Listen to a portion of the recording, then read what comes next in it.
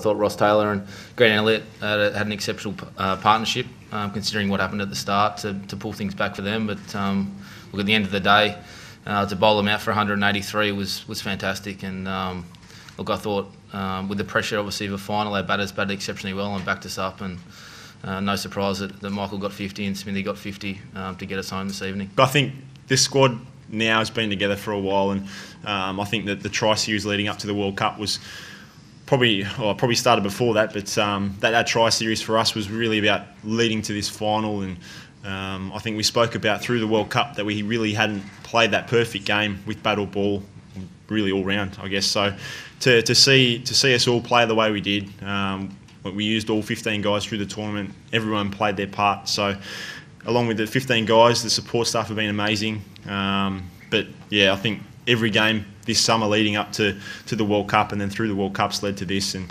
uh, it's something we can take forward now with, with, the senior guys who definitely got some time left in them. Obviously, we, we lose Michael now, but um, look, we've got a lot of great senior guys around us. The staff have been amazing, and I think the young guys are really, really thriving on that. And, and it's something we can take forward now for the next next four years leading into the next World Cup.